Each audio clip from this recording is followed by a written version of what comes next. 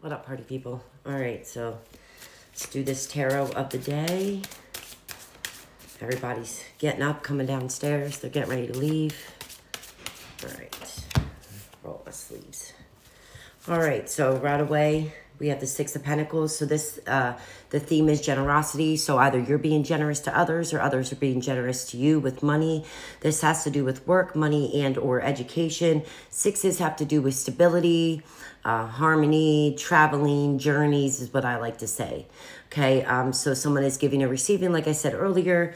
Um, they're sharing gifts, ideas, rewards, retirements, just cash in general, abundance, and being able to find all the security and balance within all that. You also have the Seven of Pentacles in reverse, so you're feeling anxious about this cash that you got. So maybe you're like, oh, I can't accept that because you know, that's not good. And it's like, if someone's offering you fucking cash and it's not a loan, then you better take it. Ain't Raven. If mom offered you 20 bucks, I take it. right? Because you didn't even ask for it, right? Yep, I just take it. You ain't gonna question, like, why is my mom giving me that, right? Or are you?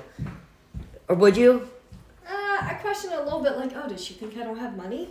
But then But who fucking cares? Do you really care what I think, though? 20 bucks is 20 bucks, right? Yeah, I end up just using it on something Exactly. really spend my money on. Exactly. So again, though, it's still so that's the theme. It's the anxiety, the anxiousness of get receiving that cash because you're a little unsure. Because maybe maybe you finally opened yourself up to receiving abundance, and you're like, oh, blah blah blah. I can't accept it, but you better. But you better. Don't be anxious about it because it ain't gonna come back to bite you in your or ass. Or to let go, mom, of wanting the money.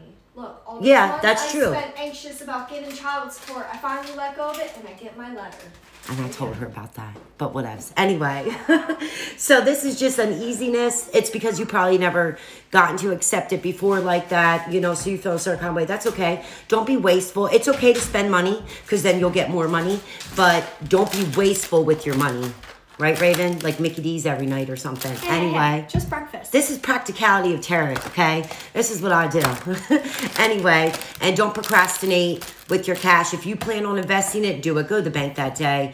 If you feel like going out and buying tarot cards, go out and do it that day. Don't procrastinate because that just gives you more time to set yourself back continuously. So accept that fucking money and do what you're going to do, right? And don't be impatient about whatever. It's going to come. The money's coming now. So just let that shit go and receive.